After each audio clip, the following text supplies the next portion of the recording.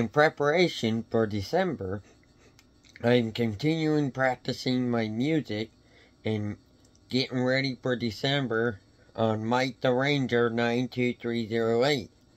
So come along and enjoy the music as I practice two new songs for December.